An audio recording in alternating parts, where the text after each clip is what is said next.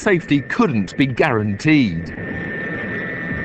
They could avoid being blinded by the light, but being knocked out of the sky was quite possible.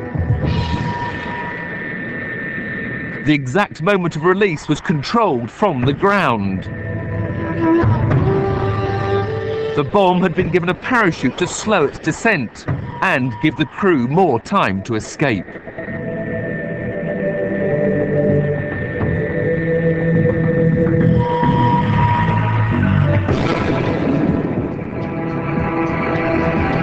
They did escape, but only just.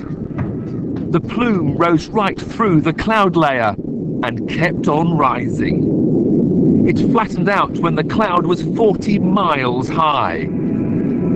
The blast wave was still large enough to be measured on its third passage round the world. Because the bomb was detonated two miles above the ground, there was very little radioactive fallout. But the earth directly below the burst was seared by the intense heat. Rock had been turned to ash.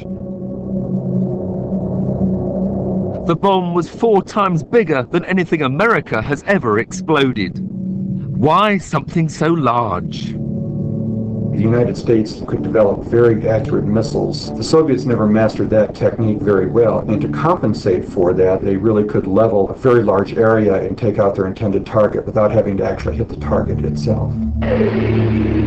Aimed at a target the size of London, here's what would happen. The blast wave would obliterate everything in a circle 30 miles wide. The fireball would be 110 miles across, incinerating everything in its path.